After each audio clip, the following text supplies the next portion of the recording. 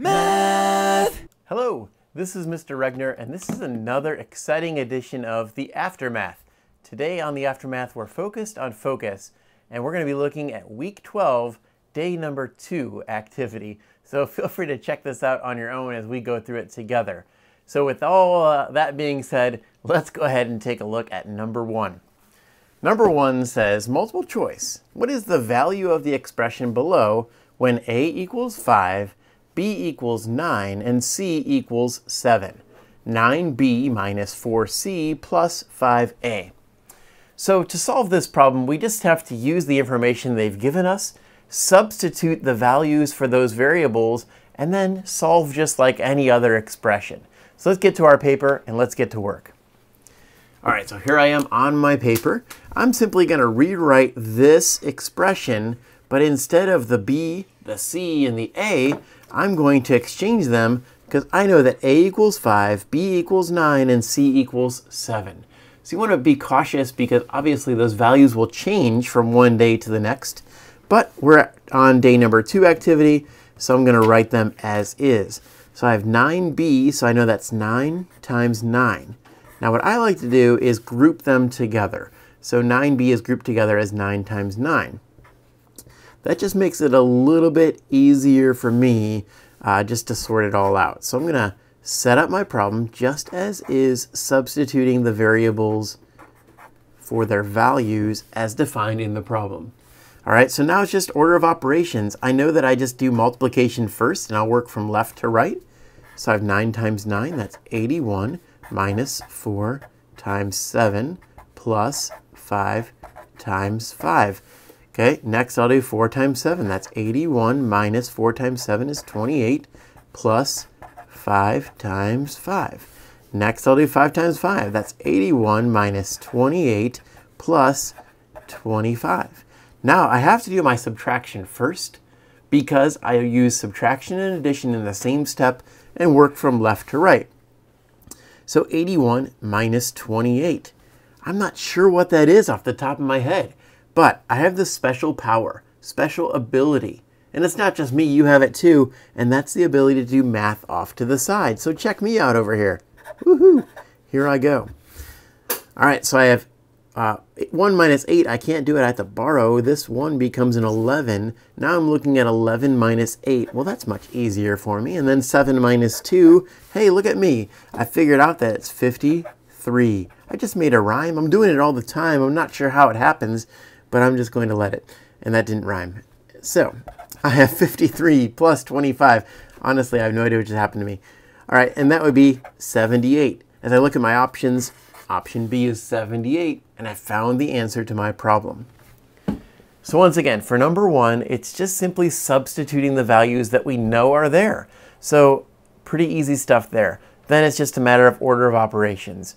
Let's roll on to number two. I'm to let you know number two up front seems kind of complex. There's a lot going on in the word problem. So this is an example of where you might have to read the problem, reread the problem, and maybe even read it again before you understand fully what it's asking you to do. And so for my example, I'm reading it once and moving on. I'm going to assume that you will have the uh, ability to stop yourself, reread it if necessary. So with all that being said, let's take a look at the problem. You have $11. One of your friends has $12, and two of your other friends each have $8. You combine your money to buy arcade tokens. You use a coupon to buy 12 tokens for $1. The cost of the remaining tokens is 8 for $1. You and your friends share the tokens evenly. How many tokens does each person get? All right, so again, I told you this one was heavy on wordage. There's a lot of words there in that problem, so read it carefully. When you really do read it and understand what's going on, you know that there's a group of friends, including you. You're putting your money together, you're buying arcade tokens, and you're going to split the tokens evenly. So we have to do some math to figure out how much money you have first, second, how many tokens you can buy, and finally, how many tokens each person is going to get. So let's take a look at our problem and we'll do some work on the paper. All right, so here we are, and I want to make, make it super clear that there's you, there's one of your friends, and then there's two of your other friends. All right, so I'm going to split up my paper here into three parts. So I'm going to figure out how much money I, I have. Oops. You know, it always helps on the video to be able to see the paper. Just a little tip that I've discovered over the years here. So I want to figure out how much money that I have, right? And I want to figure out how many tokens I can buy. And then I want to figure out how many tokens per person. All right, so the way I like to do this is I think that you have $11. Okay, so that's $11. And then one of your friends, we're going to call them friend one, has $12. And then you have two of your other friends that each have $8. All right, so we'll call them friends two and three. They each have $8. Okay, so now I want to figure out the total money that I have here uh, once I pull all the money together from all of my friends. All right, so I'll do some quick math here. And the way that I'm doing this is kind of mental math. All right, so I look at this, I see 12 and 8. I think they go together because they equal 20 between them. If I add on 11, that would be 31. And then add on 8, that would be 39. So I know we have $39 total. So now I want to think about how many tokens I can buy with $39. So first, there is this coupon that I have to worry about. It says buy 12 tokens for a dollar. So I'm going to take my $39 that I had, I'm going to subtract 1, and that gives me $38 left. But with that $1, I'm buying 12 tokens. Because again, we got that special coupon to buy 12 for 1. All right? Okay, next it says the cost of the remaining tokens is 8 for $1. Okay, so if I have $1, I can get 8, but I have $38. That means I can multiply that by 8 to figure out how many tokens I can get in all. So 8 times 8 is 64. 8 times 3 is 24 plus 6, that's 30. That means 304 tokens. But I want to figure out the total tokens. So I have 12 tokens plus 304. That means I'm going to add them together. So that gives me 316 altogether. And I figured that out by just adding up 12 plus 304. Okay, so now with 316 tokens and with one, two, three, four people to split it amongst, I'm going to take 316 and divide by 4. So I think to myself, how many times does 4 go into 31? Well, the simple answer there is it doesn't. If I did 8 times, I'd have 32. Can't do that. I have to do 7. And then 7 times 4 is 28. I'll subtract. That leaves me with 3. I'll bring down my 6. All right, so there's our work for number 2. As I said, it's kind of a complex problem, but when you really break it down into those three steps that I just showed you, finding how much money you have, finding out how many tokens you can buy, and then finally figuring out how many tokens each person gets, that problem that seems so complex becomes much, much easier. So make sure you practice that and be ready for it for this Thursday's quiz. Let's roll on and take a look at number three. Number three says a garden is built on a rooftop. The or find the perimeter of the garden. Okay, so for this one, we've got a garden that looks kind of, uh, you know, 3D-ish. We're looking at it, you know, from the front and looking back at it. I like to use a strategy here where I draw that garden from like a bird's eye view from up top. When I can look at it that way, it kind of helps me to visualize and see where the uh, edges would be, see what shape I'm dealing with, and ultimately helps me figure out the unknown measurements of the sides I don't know. So I'm going to do that right now. All right, so this one, it sort of looks like uh, Oklahoma. Sort of looks like a frying pan, however you want to think of it. But we kind of have a, a garden that looks like this. So I'm going to just fill in the measurements that I know. So this back side here is 24 feet. This side is 18 feet. This side is 14 feet. And this side is 6 feet. So I obviously have some unknowns here. All right, so I'm going to maybe make a circle here and here because those are the two sides that I don't know.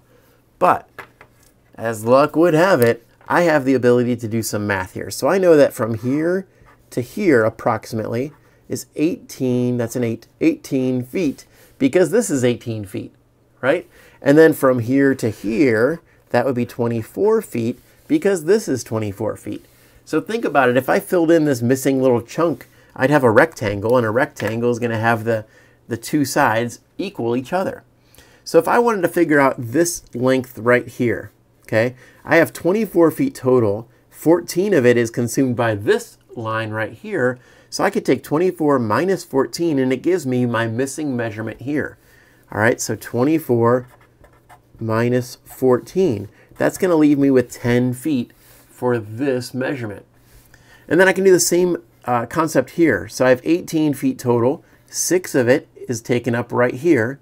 So I have 18 minus 6. And 18 minus 6 is going to leave me with 12 feet right there. Okay, so if I want to find the perimeter of that garden, I need to add up all the sides. Perimeter would be the measurement of the outside of my garden, right? So I'm going to have six sides that I'm adding up. And one thing that I like to do is go through and just check off the sides as I count them and as I include them in my problem. All right, so I have 24, check. That's a check mark. 18, check. 14, check. 12, check.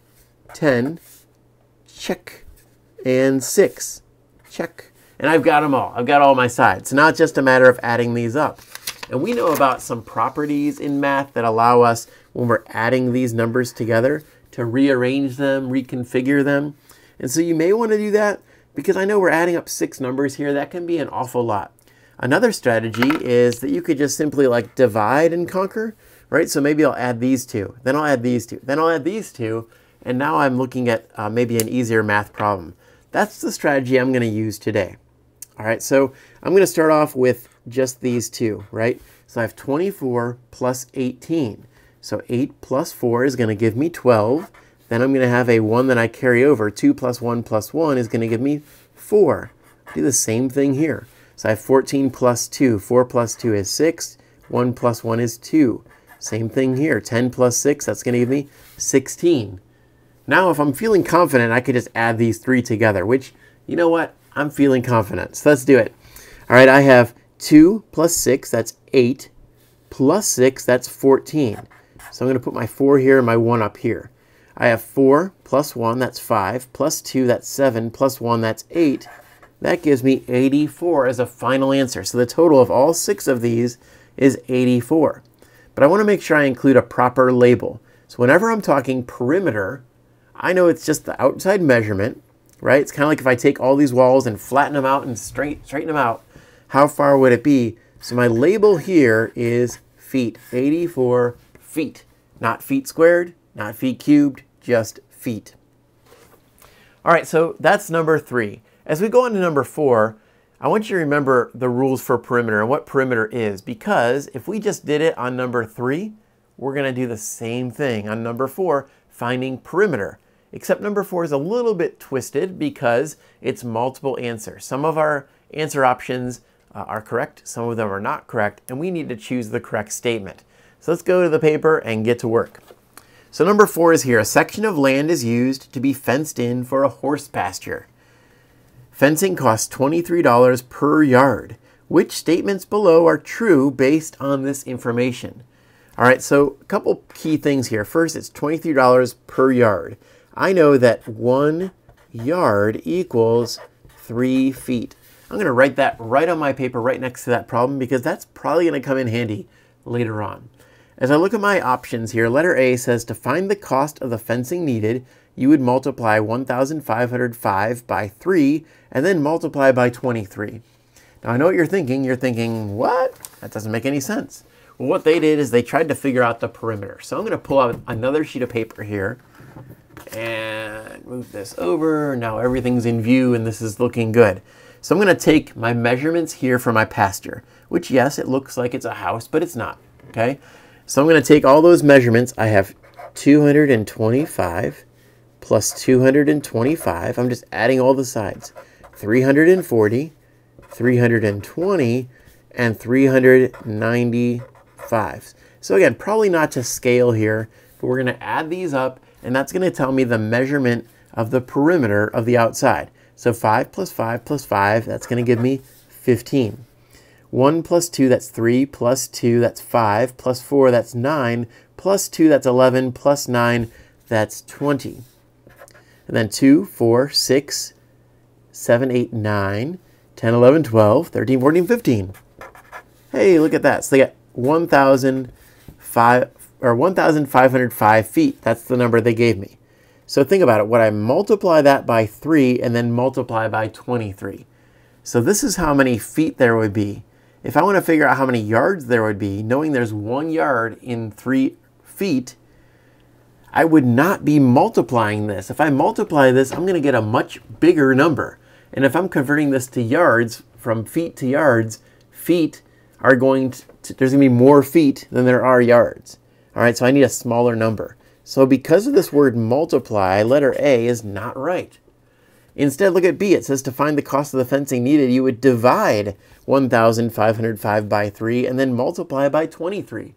Think about that for a moment. I take this divided by 3. That tells me how many yards I have.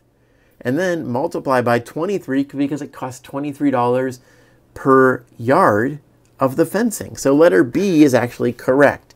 We're dividing the feet in order to get the yards. And then letter C says to find the cost of the fencing needed, you would divide 1,505 by 3. I like what I'm hearing so far. And then divide by 23. Whoops. They had me there early, and then they lost me when we're dividing. Okay, think about it. It's $23 per yard. If I figure out how many yards there are by dividing 1,505 by 3, then I'm going to have to multiply by 23 because that's how much each yard costs. I'm not going to divide by 23, so I can't say C is correct either. Letter D says to find the amount of fencing needed, you could use this expression. 2 times 225 plus 320 plus 340. So let's look at what I did over here. So I have 2 times 225. Well, there's two of them, right? So I could say that's times 2, right? I have 320, looking good so far. 340, I'm on the right track. And then, oh wait, they forgot about 395. So I'm not so keen on that. I don't like that one. That one does not work. Here's another one though. To find the amount of fencing needed, you could use this expression. 395, let's see. We've got it. 2 times 225, got it. 340, got it. And 320, got it. So letter E works in that situation, and that would be a correct answer. So my only correct answers here are B and E, but it's important to go through each option and make sure that they are definitely correct or definitely incorrect. All right, so there you have it. There's our focus for this week. Again, know about perimeter. We get a chance to practice it two different times. Look over number two. That's kind of a tricky question, but it'll be the same question all week long with different numbers. So if you know how to answer it once, you know how to answer it twice, three times even, for day number three, then you're ready for your quiz on day number four. And finally, just make sure you can substitute for number one and you'll be in good shape. So I'm Mr. Regner. This has been The After Math. I hope you have a great day. Math, aftermath, it's the aftermath. Aftermath, it's the aftermath. Math class is fun, but when it's done, stay in the zone. On your own, it's math review, made just for you. Take a video wherever you go. Aftermath, it's the aftermath. Aftermath, it's the aftermath. Oh yeah.